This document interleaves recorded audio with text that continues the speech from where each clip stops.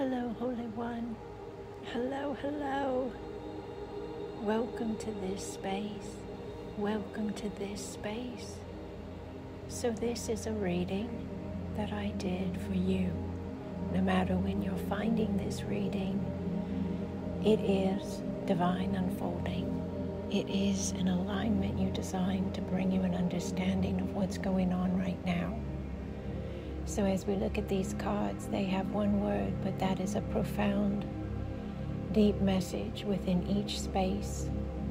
We have trust, pure intent, healing, obligation, success, and winter.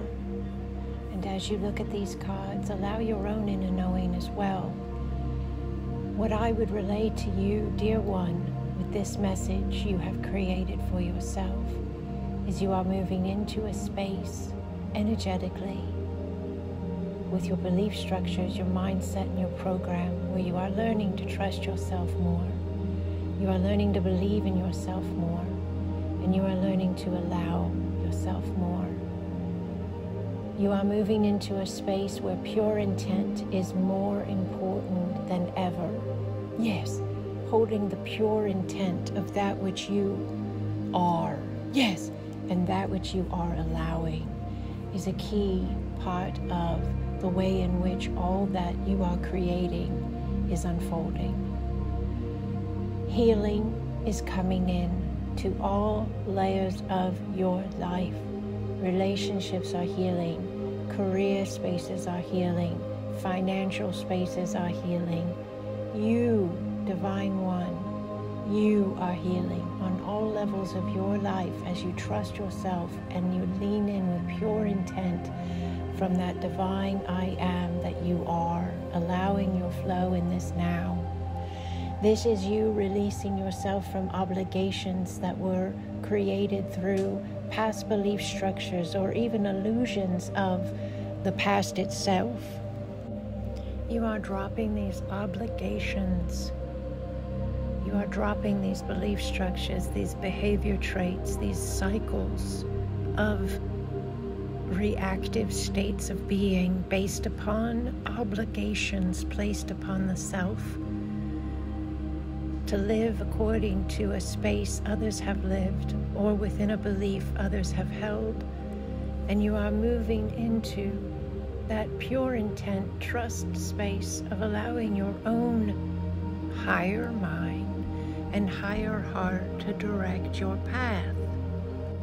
These obligations can also be seen and realized by you in relationship spaces where you feel obligated to be a certain space of the relationship, to provide a certain alignment within the relationship.